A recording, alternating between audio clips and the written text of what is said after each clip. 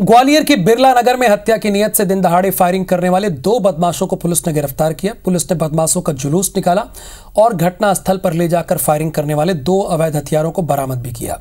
बता दें कि हजीरा थाना क्षेत्र के बिरला नगर में रहने वाले रमेश सिंह सिकरवार पर बदमाश सत्यवीर जाट और उसके साथी देव कुमार उर्फ़ गोलू आर्य ने फायरिंग की थी। बदमाश दुकान के बाहर शराब पीने से मना करने और थाने में शिकायत करने से नाराज़ थे। आरोपी ने दुकान के बाहर शराब पीने से मना किया था और थाने में शिकायत की थी। इसी बात से आरोपी नाराज़ थे। फायरिंग के दौरान किसी तरह दुकानदार ने दुकान के अंदर भागकर अपनी जान बचाई थी और बदमाश फायरिंग के बाद बाइक पर बैठकर फरार हो गए थे। जान से मारने की नीयत से फायरिंग की, जिस पर से जो है प्राणघातक हमला का अपराध पंजीबद्ध किया गया, और प्रकरण में विवेचना की जा रही थी। हजीरा पुलिस ने तत्परता से दोनों आरोपियों को, उन दो आरोपियों को गिरफ़्तार किया, उनसे फायर आर्म्स जब्त किए राउंड जब्त किए, और पूछताछ की जा रही है कि कहाँ से लाए थे, कहाँ ले जा रहे थे, और विवेचना की जा रही है।